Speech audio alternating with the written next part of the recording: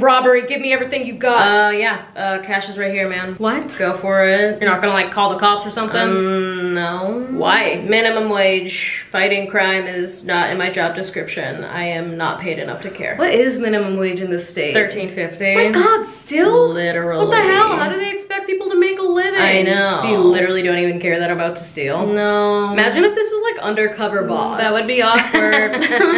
no, it's not though. Give me the money. Yeah, sure. There's like money in the back too. Oh, thanks. You want a snack? Yes, please. Okay.